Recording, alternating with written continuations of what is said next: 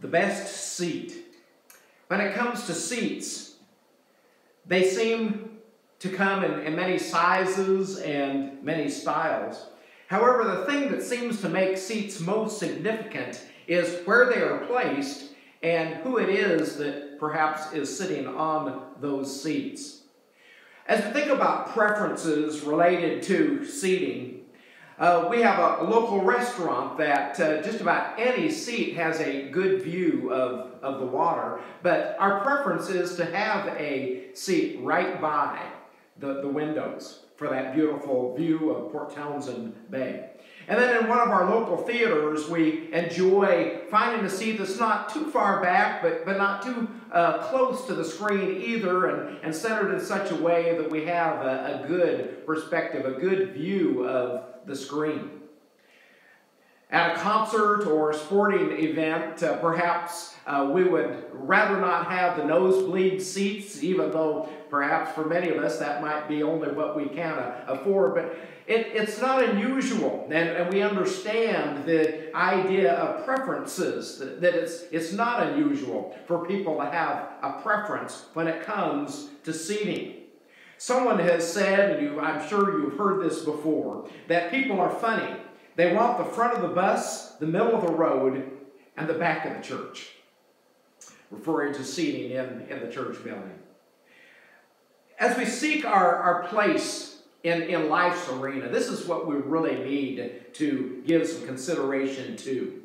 Uh, there is someone who has said progress is making bigger and better circles to run around in. Is, is that our perspective of our standing in this world? As we seek our place in, in life's arena, there, there are many who, who seek notoriety. You know, they want to be noticed. Uh, they, they want personal, uh, their personal significance to be spoken of. Uh, there are those who focus on high society, you know, living uh, what they term the, the good life. Um, you're living very, uh, very comfortably, extremely comfortably. And then there are those who, who focus on high standing. You're elevated above others. You're uh, being prestigious and running around in prestigious circles. However, we also need to understand that the high standing of integrity and the high standing of godliness can characterize a life regardless of social standing. In fact, often it's exhibited more among the poor than among the wealthy. Even James in, in James uh, chapter 2 and verse 5 said, Listen, my beloved brothers, has not God chosen those who are poor in the world to be rich in faith and heirs of the kingdom? which he has promised to those who love him. James was addressing this because there were preferences that were being shown amongst those that he was, was writing to. People were being treated differently based on their social status. And James noted that that is not uh, to be so, that that's, that's dealing with others with evil intent. And, and so he reminded them that uh, the poor who are rich in faith, rich in faith and heirs of the kingdom, it is what we all in Christ are sharers of. Yet there is this battle between self exaltation and self surrender. We want to, to be significant and seen as significant, and we all are as, as God's children, as, as a part of, of God's creation. And we need to recognize that in connection with, with God and not just with the world. But, but there is that, that battle that goes on between self exaltation and, and self surrender. And what is it that is, is winning in our life? And do we recognize where the true blessing is there? Remember our, our Lord's rebuke of some of that day. In Matthew chapter 23, that, that chapter of woes, where Jesus is criticizing and drawing attention to the practices and, and, the behavior of many of the leaders of that day. We read here in verses 1 through 3 Then Jesus said to the crowds and to his disciples, The scribes and the Pharisees sit on Moses' seat. So do not observe, so do and observe whatever they tell you, but not the works they do, for they preach, but do not practice. They were sitting in a significant place. It was a respected place to sit on Moses' seat, to be teachers of the law. Unfortunately, they were not sitting respectfully on that seat. They were not acknowledging Jesus as they needed to do. And, and here, even though they were teachers of the law, they were not even practicing themselves the things that they were placing upon the people, the things that they were teaching uh, the people. And yet they were fulfilling a role. They were fulfilling a role of, of drawing attention to the commands and to the law of God. And, and that needed to be listened to, that needed to be taken uh, to heart.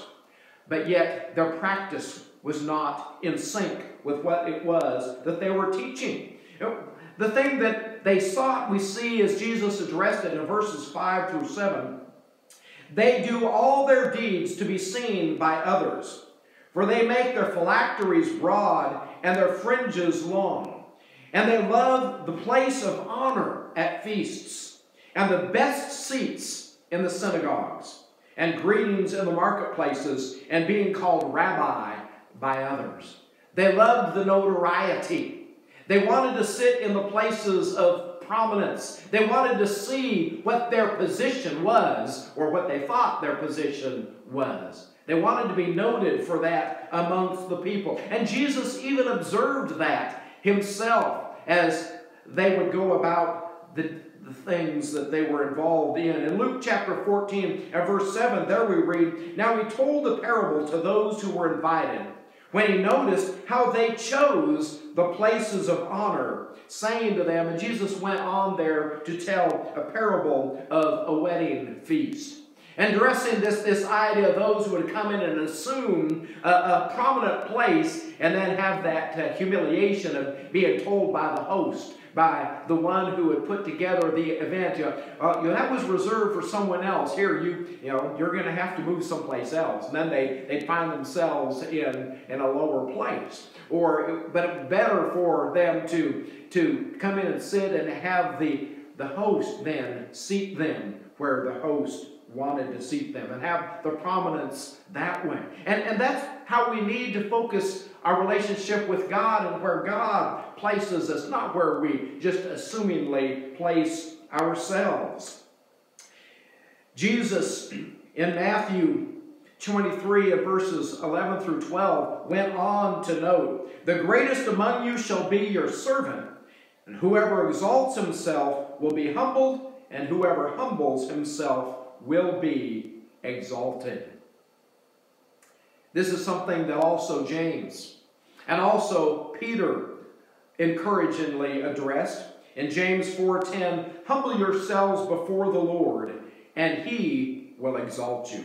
And then Peter, humble yourselves therefore under the mighty hand of God, so that at the proper time he may exalt you, casting all your anxieties on him, because he cares for you humbling ourselves, it is God who does the exalting and, and does it His way and in His time. We need to come to understand it is in humility and, and humbly surrendering ourselves, our life to God and, and to His will, that we gain the best seat that we could possibly even desire. It is God who exalts us into a, a realm and into a kingdom that is eternal. And so let us be encouraged by our present reality in Christ. let us consider where Christ himself is seated. The writer of Hebrews, as he was introducing or uh, drawing the attention to, to Christ here as he would go on to, to point to all the better things that are in Christ rather than going back to the law and, and observing the things of, of the law, but the adequacy of Christ and, and his sacrifice. We read in verses 1, uh, chapter 1, verses 1 through 4. Long ago, at many times and in many ways, God spoke to our fathers by the prophets, but in these last days he has spoken to us by his Son, whom he appointed the heir of all things, through whom also he created the world. He is the radiance of the glory of God and the exact imprint of his nature. And he upholds the universe by the word of his power. After having uh, making purification for sins, he sat down at the right hand of the majesty on high, having become as much superior to angels as the name he has inherited is more excellent than theirs. Jesus, after he offered his life for our sins, after providing the means of our redemption, and being raised from the dead, he was then also raised back up to heaven. He returned to heaven in the sight of his apostles, and there he is seated at the right hand of the Father.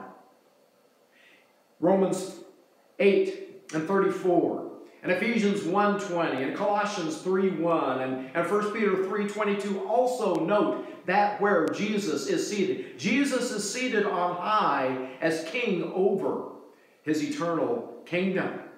But as Jesus is seated on high, what does that mean then for us to be in Christ?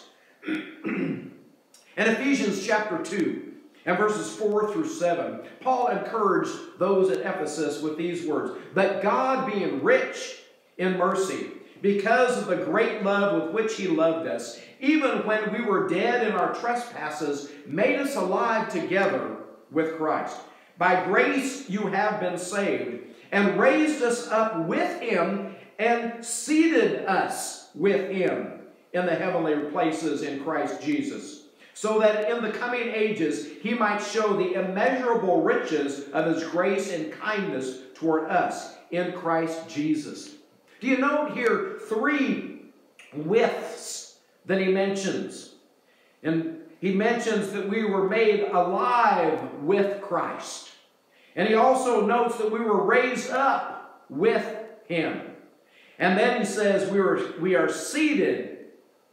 He seated us he seated us with Him. And we don't want to be without Him. This is the picture of our life presently with Jesus, being seated with Him. Once we entered into Christ through baptism into new life, we were lifted above the life of this world, and we have been continued to be exalted in Him, no matter See, this is the place that God has loved and longed uh, to provide for us in Christ and has done so in Christ. And no matter how hard we might try to lay claim to honor and notoriety in this world, there is no higher exaltation than for us to be seated with Christ.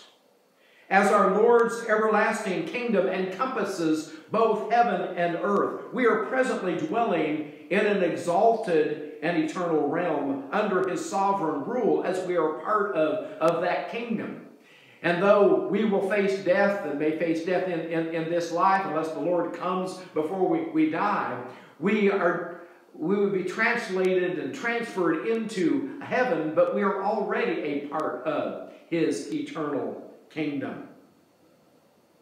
His kingdom encompasses both heaven and earth.